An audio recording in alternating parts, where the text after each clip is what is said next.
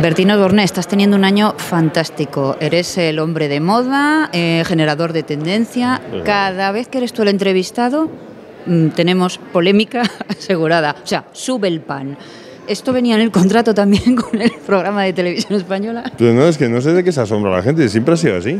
¿Eh? Cada vez que dices algo... Siempre sea, ha sido en todas así. las entrevistas eh, tienes un titular.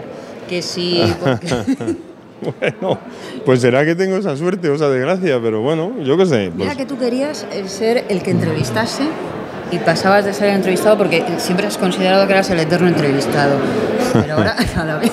Es verdad, te advierto que en los últimos años, eh, que no estaba presentando ningún programa, me llamaban a todos los programas cuando arrancaban el primero, que venga Bertín para que arranque bien. Joder, pues ya un día le dije al que me llamó, digo, oye, pero macho, no me llames para esto, llámame para presentar uno. Pero, pero tú Y así fue. Antes has hecho programas y tenías muchísimo éxito, que los Sí, hemos visto ya. claro que sí. años. No, pues ¿sabes lo que pasa? Que en los últimos años, pues parece que si pasas de 50 años ya estás jubilado para la televisión. Y me ha encantado demostrar todo lo contrario. Pues sí, sí que lo has demostrado. Por cierto, ya hasta tienes agri- agria polémica, no, no, no con Iñaki Gabilondo, pero lo que se decía antes, pero sí con Gemma Nierga. No, no, El otro día cuando estuviste allí en, en el programa Sí. en, la, en la ventana, mm, ¿qué pasó? ¿Que no se entiende bien a veces las cosas o qué? Nada, fue, fue una tontería. Yo creo que, que, que yo me calenté, no sé, porque, porque me, me molesta profundamente que se sea injusto en esta vida. Y, si tenemos que hablar de algo, vamos a hablar eh, en serio y de todo, no de parte.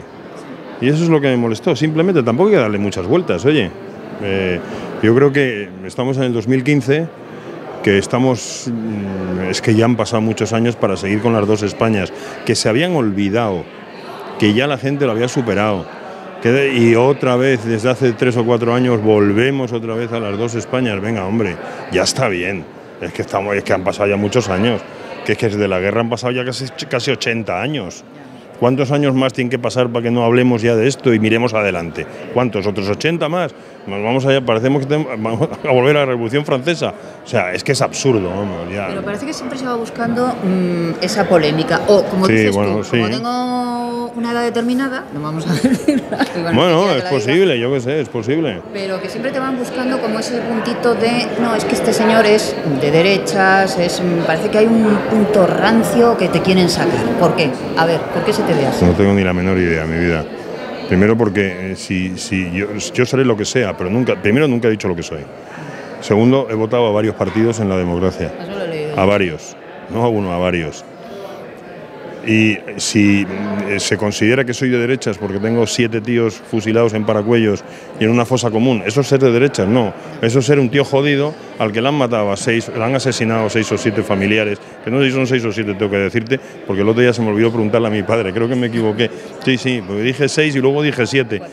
Sí, pero seis o siete en Paracuellos. Uno de ellos, precisamente, era el tío Bertín. A mí me llaman Bertín porque uno de los asesinados en Paracuellos era el tío Bertín, del que todavía en casa de mis abuelos, donde vive un tío mío, allí está el busto de mi tío Bertín, de en bronce, que fue uno de los que les hicieron el paseillo los milicianos y se lo llevaron a, a- a- a matarlo a Paracuellos. No Entonces, pero, pero yo no tengo, pero yo no tengo, no, pero yo no tengo ningún afán de revanchismo ni nada, ni, ni nada.